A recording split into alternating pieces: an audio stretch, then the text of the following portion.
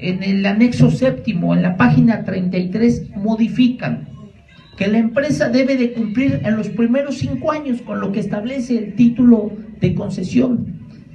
Hacen una modificación de facto que ya no es a los cinco años, es al año número 10, que ni siquiera le iba a tocar a Marta Erika, ¿sí? y que no había motivo de revocación de contrato. Por eso iba a decir, pues no cumple, pero el título de concesión le otorga esa facultad. Da esa modificación, que es una modificación de facto, por cierto. Ayer la organización de Dale la cara a la Toyac anunció que le ganó el juicio de amparo a su APAP para que entreguen la modificación al título de concesión que manifiesta que es de marzo de 2014. Y todo eso se ha venido dando. Calculamos que en Puebla al año son 100 mil cortes de agua, que sin ninguna orden judicial.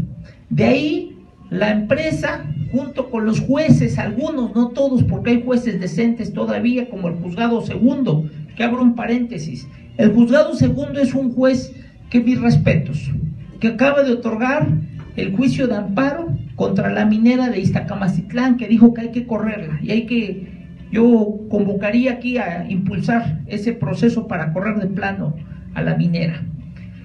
Entonces de aquí los jueces dicen que cuando a una persona le suspenden para que le reconecten hay que exhibir una garantía que es pagar el